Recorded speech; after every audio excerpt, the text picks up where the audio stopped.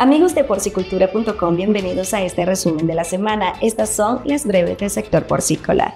Heriberto Hernández, presidente de la OPORMEX, nos habló sobre la agenda de trabajo de la porcicultura nacional con la siguiente administración de la Secretaría de Agricultura. La entrevista completa se encuentra disponible en porcicultura.com. En el Consejo Nacional Agropecuario destacaron que la industria agroalimentaria mexicana contribuye al cumplimiento de 10 de los 17 objetivos de desarrollo sostenible de la ONU a través de estrategias que impulsan la productividad con un enfoque en la sostenibilidad y el bienestar social.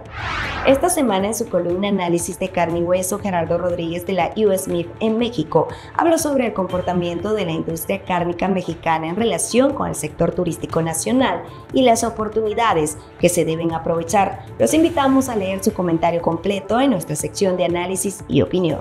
En Francia, el Ministerio de Agricultura determinó reforzar la vigilancia contra la fiebre porcina africana en la frontera con Alemania, con la finalidad de propiciar la rápida detección del virus en la vida silvestre y evitar su llegada a la porcicultura.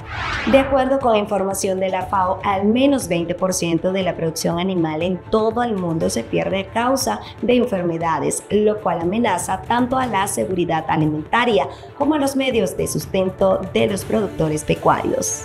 Gracias por acompañarnos en la breve del sector porcícola. Ahora ya están bien informados que pasen excelente fin de semana.